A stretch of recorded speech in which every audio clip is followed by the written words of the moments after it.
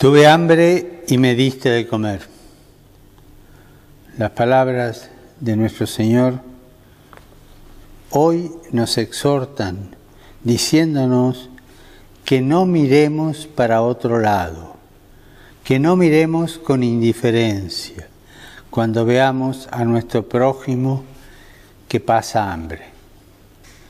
Animo a los fieles a participar en la campaña de Cáritas Alimentos para Todos y a que alcen su voz en favor de las personas hambrientas, en particular durante la semana de acción que tiene lugar en el mes de octubre. Muchas gracias.